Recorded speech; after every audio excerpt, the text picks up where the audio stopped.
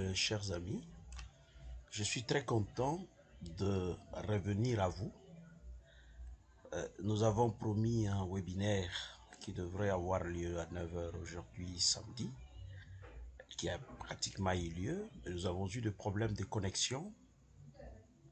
Et puis euh, la plupart des gens que nous avons attendus ne sont pas parvenus à entrer dans l'affaire en fait, dans les webinaires, suivre la formation en ligne. En fait, c'est pas encore euh, une habitude chez nous, mais il faudra qu'on puisse euh, se préparer et se battre à y arriver.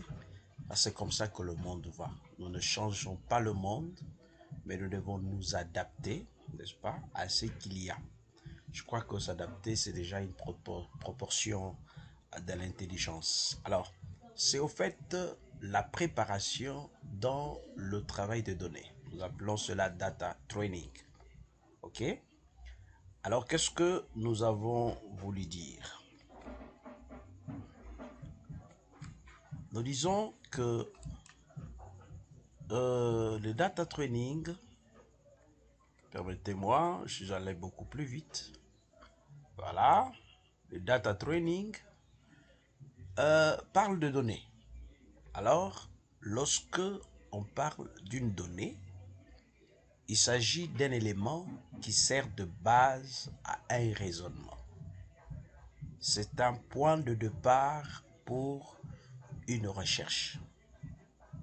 Quand on veut faire des recherches dans un domaine, le point de départ, c'est cela, la donnée.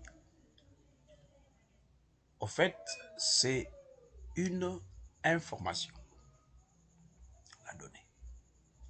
Vous avez par exemple un hôpital. Vous voulez savoir l'hôpital ici se trouve dans quelle commune, dans quelle ville, ça combien de lits, ça combien de médecins permanents, combien de médecins visiteurs, combien de médecins spécialistes, l'hôpital reçoit combien de patients par jour? Ça, ce sont des données. Alors, lorsqu'on parle de la collecte de données, il s'agit cette fois-là d'une recherche des informations sur un phénomène, sur un fait, sur un problème.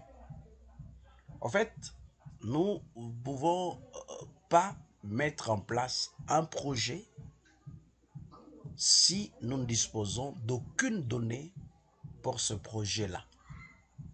Parce que le projet, c'est une entreprise temporaire qui vient apporter la solution à un problème précis. Et pour y arriver, il faut disposer des informations qui peuvent nous permettre de cerner le problème, de comprendre le problème. Ceux qui étudient, ceux qui étudient le management de projet euh, vont jusqu'à parler de l'arbre à problème. Voyez-vous? Donc, les problèmes est cerné par des données de ces problèmes-là pour que le projet soit mis en place. Alors, nous, nous utilisons la collecte des données avec Android. Eh bien, là, il y a énormément d'avantages. Contrairement à la collecte avec de papier, vous savez, de fiches, de fiches, euh, des formulaires papier. Je me rappelle d'un travail que nous avons fait pour là-bas, euh, pour le site mini artisanaux. Il y avait une soixantaine de questions pour euh, un seul questionnaire. Alors, une soixantaine de questions, si on met cela sur papier, nous avons une dizaine de pages. Et s'il faut atteindre 100 sites, donc vous avez 10 fois 100, vous avez 1000 papiers qu'il faut porter sur un sac, mettre dans un sac, porter au dos, tout ça avec risque qu'il y a de la pluie et tout ça. Donc, le premier avantage pour la collecte avec Android, c'est le fait que l'on soit déchargé. Il n'y a pas d'encombrement. Deuxième avantage, c'est la prise en compte des coordonnées géographiques. C'est-à-dire quand on collecte les données, on peut avoir les coordonnées, la longitude, la latitude, l'altitude, pourquoi pas même la précision. Voyez-vous? Donc, c'est là, ça vient avec l'Android, ce que le papier ne peut, pas faire. Avec la collecte de données avec Android, pour la plupart des plateformes et logiciels, vous avez la prise en compte de multimédia. Il y a moyen de pouvoir associer des photos, des vidéos, des audios, sans avoir un appareil photo à côté. Déjà dans le formulaire, des photos s'intègrent, des vidéos aussi. On peut vouloir avoir un témoignage sur le milieu, eh bien l'audio également est là. À part cela, nous avons la possibilité de suivre les collecteurs sur terrain. Il s'est posé énormément de problèmes. Hein. Certaines personnes qui ont été envoyées à l'intérieur du pays, eh, ils sont allés, il est allé à Kisangani, il reste dans un hôtel, il remplit de fiches là-bas. Il n'a parlé avec personne et il rentre. Il fait son rapport. Tandis qu'ici, il n'y a pas moyen de le faire parce que la personne sur terrain sera suivie et on saura où est-ce qu'il était, combien de minutes il a fait devant le premier répondant, devant le deuxième répondant. Il a commencé à quelle heure, il a fini à quelle heure. Il y a moyen de le suivre, de savoir où est-ce qu'il était et qu'est-ce qu'il a fait. À part cela, nous avons n'avons pas de masque de saisie. Hein, ça c'est plus pour des techniciens qui font l'analyse des données. Lorsque les données viennent avec des fiches, il faut euh, une sorte de base de données qui soit créée dans le logiciel approprié, le logiciel en analyse approprié. Eh bien, qui puisse créer d'abord un masque de saisie. Après, on fait vraiment la saisie, comme si on était un opérateur de saisie.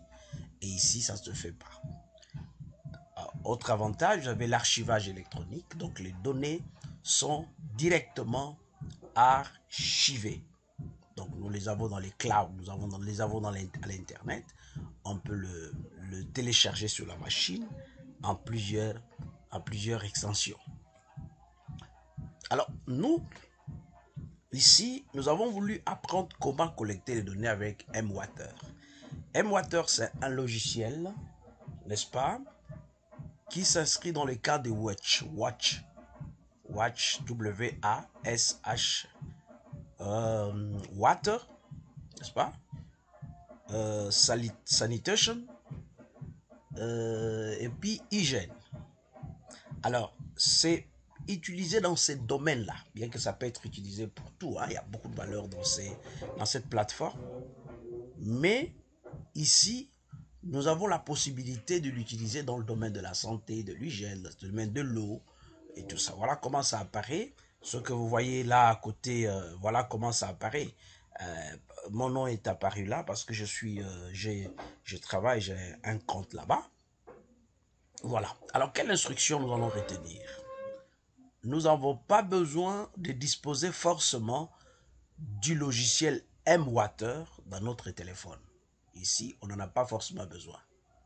Même si on n'en a pas, le lien va venir, on nous envoie le lien, nous ouvrons, le formulaire s'ouvre et nous enregistrons les données. Deuxième chose, il faut disposer du lien. Donc, il faut qu'on vous envoie le lien, n'est-ce pas, du formulaire qui a été conçu. Troisièmement, il faut disposer d'un Android avec puce GPS derrière le téléphone là. Vous savez quand vous faites descendre votre téléphone derrière là où vous avez euh, vous avez le Wi-Fi et autres, il y a toujours une puce GPS hein, qui peut nous permettre de pouvoir avoir les données géographiques, les informations géographiques des sites. Quatrièmement, il faut tester cette puce GPS avec OSM Tracker. OSM Tracker, c'est pas un logiciel de test de, de, de GPS, mais moi personnellement, je choisis de l'utiliser pour s'assurer que notre puce GPS marche et je vous donne des précisions avec le temps. Après, il faudra seulement cliquer sur le lien et collecter les données, de données devant le forage. Le forage, pourquoi? Parce que le projet sur lequel nous sommes en train de faire l'exercice, la pratique concerne le forage d'eau dans la ville-province de Kinshasa. Et comme nous avons euh, des gens au, à Mbujimaï, comme euh, nous avons euh, Pascal Ocele, environnementaliste et spécialiste en sauvegarde environnementale. Et nous avons également euh, Francis Alamubanga, qui est aussi là-bas. Eh bien, nous avons voulu mettre une assertion là où on parle de la province parce que eux aussi peuvent collecter les données en passant par certains coins. Alors, Voilà comment OSM 3 cœurs commence. OSM 3 cœurs, il faut le chercher d'abord dans Play Store. Il appelé Play Store apparaît. Et lorsque vous l'avez téléchargé, vous l'avez installé, il est là, il apparaît sur votre téléphone.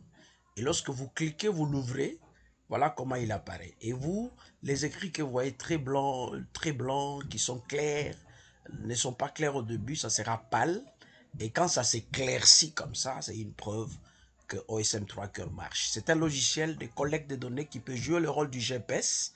Donc pour celui qui n'a pas le GPS, OSM Tracker peut jouer le rôle du GPS et aller plus loin parce qu'il y a possibilité même de prendre des photos géolocalisées ici. Hein. Donc euh, beaucoup d'autres fonctions avec OSM Tracker. C'est un logiciel de collecte de données euh, d'OpenStreetMap qui est une grande famille dont on, dont on parlera avec le temps. Alors maintenant avec notre logiciel, nous allons collecter des données comme ça.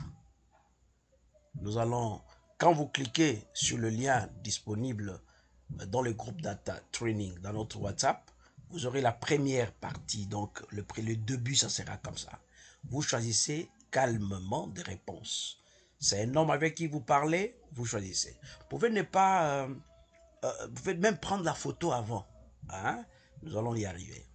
Et vous dites, c'est un homme ou une femme, la qualité des répondants, est-ce qu'il vient de la rue là où vous êtes, ainsi de suite.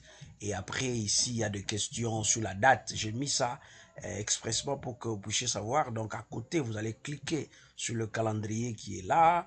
Euh, si on vous dit, par exemple, le forage a commencé avec 2019, vous n'êtes pas obligé de savoir la date. Vous choisissez n'importe quel mois, n'importe quelle date, parce que nous, dans l'analyse, on ne va pas considérer la date, le, jour et le mois. On va considérer seulement l'année. Et après, vous allez choisir euh, la commune, tout ça.